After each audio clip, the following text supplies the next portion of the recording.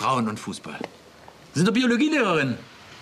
Ja und? Ja, dann müsst ihr doch wissen, dass das gegen die natürliche Ordnung der Dinge verstößt. Also das ist doch nicht Ihr Ernst. Doch, ist es. Der Ball! Ist konfisziert.